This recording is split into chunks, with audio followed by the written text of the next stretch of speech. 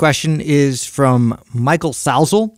If you had to add an exercise to the big four to make it the big five, which exercise would it be? Ooh. So I'm assuming the big because it's the big three, but uh, easily number four I would consider overhead press. Is Right. that so squat, Uh, yeah, bench, that be deadlift, overhead press. okay? That's that. That would be the big four, right? So, what do you guys think would be a fifth exercise if you had to throw it in there? What do you either would be a good? one? either a bent over row, um, would be in there. Here's the thing: you're, I mean, you're Hmm. you're doing an incredible job with those big four of kind of attacking everything, right? You're, Mm-hmm. Yeah. there's not a part of the there's not a muscle that is not going to get worked if you do the big four. But I think another just staple uh, exercise that has so much value, uh, a bent over row maybe, That's what I was gonna say. I Are would you say, yeah, I would. Yeah. I would say either a row or a pull up. or a lunge maybe. Mm. Yeah, I was actually going to go in the lunge direction, mainly Okay. because uh, if I could say like a multi-directional lunge, so that way I get more planes of of uh, you know represented in this uh, you know list. But again, that's from the functional side of of my thought process. Yeah, no, I like that. I, I like thinking of something that's either you know rotational or anti-rotational, so you get some benefits there that Right. that I think are are, incredible. The reason why these exercises are called the big three or big four or whatever is because the just the the results you get from these exercises. yeah. They're just huge bang for your buck. It's really, really hard. And of course, this isn't going to be true for every single person, but it's true for most people that, uh, you know, for leg development, for example, um, or lower body strength, functional strength, and uh, lower body development, it's hard to find one exercise that could compete with a squat for most people, right? Um, you know, bench press, great horizontal pressing movement. You're getting the chest and the shoulders and the triceps. Overhead press, very important, be able to lift something up above your head. A deadlift, you've got the hip hinging.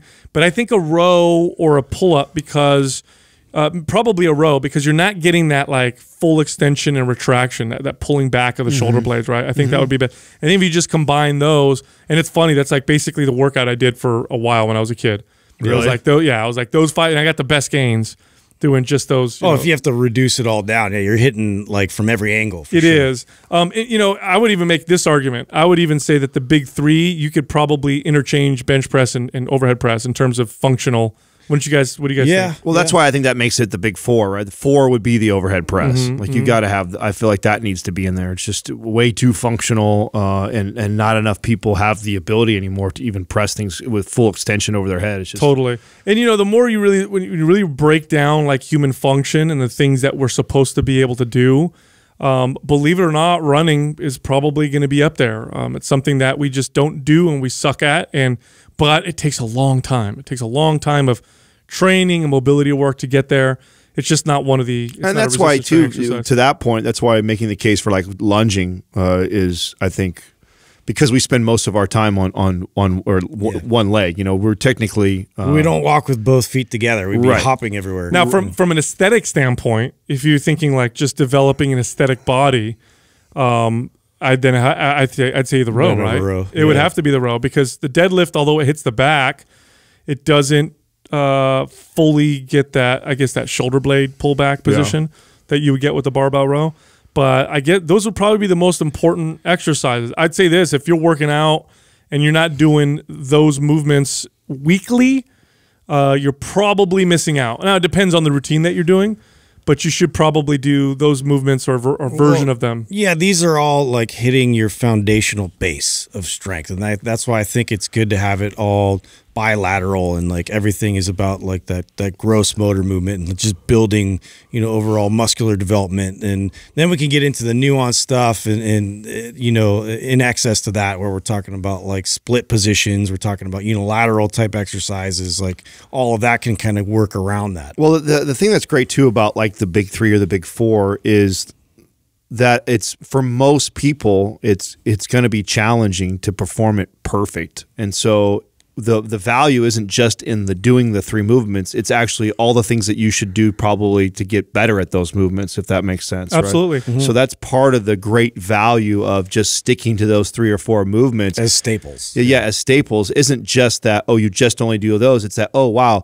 I, when I squat, I can't, you know, I can't break 90 degrees. And I, I notice that my knees cave in. It's like uh, looking at it and saying, wow, it's far from perfect. Now, what are all the things I should be adding to my routine to complement this or to improve this movement?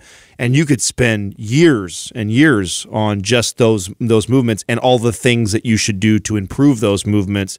And that's what makes them, I think, in my opinion, so superior. And then when you get to a point when you have a beautiful overhead press, you have a beautiful bench press, you have a beautiful squat, you have a beautiful deadlift. Holy shit. Now the, the, the carryover that that has to all the rest of your body, I mean, eh, that's why it's called the big three. The- and it's the the irony, although it's more it's better communicated today than ever, it's still not communicated well enough because the irony is if you go to the average gym, um, those four or five exercises, if we throw in the barbell row, are the ones you see people do the least. Yeah. Except for maybe the bench press. The bench press you tend to see uh, you know, people get under the bench probably because it turned into a, a, a way of guys to brag or whatever. Um, but it's funny, like you go to the gym and just an average gym. I'm not talking about like a hardcore gym. And how many people do you see barbell squatting, barbell deadlifting, you know, overhead pressing, standing, you know, doing a proper barbell row or whatever? You don't see that much. No, not at all. And, and I feel like it needs to be communicated better to the average person because the average person not only don't they know that the, the benefits of resistance training, but the ones that finally go to the gym and say, okay, I'm going to do some resistance training, the exercises they pick are like, boy, you're you're you could be spending that time doing something that's far more effective than the exercises that you, you tend to do. Right. I, I mean, this is things I, I used to do with clients, um, and to get this point across is I would actually take those three or four movements, and you know split it up over three or four days, and like you know just two two movements. Right. We're just gonna uh, squat and overhead press today, and the whole routine would be around improving the squat and improving the overhead press and you could go down the rabbit hole of you know and that's we live in an incredible time uh, to get information like you could go on youtube and you know improve my overhead press and put throw that in there you can go through for art for sure ours we have a ton of uh, tutorials and videos to help you get a better overhead press to help you get a better squat to help you get a better deadlift and all the exercises, movements, mobility drills that we provide in there. I mean, that you should be doing that to complement and just trying to improve the squat. Like just making that a goal. Like, hey, I want to get better at my squat. Hey, I want to get better at my overhead press. And all the movements and exercises that you do besides those movements are all ones that are are eh, designed to complement or improve those movements. There's so much value in just focusing on that alone. Mm.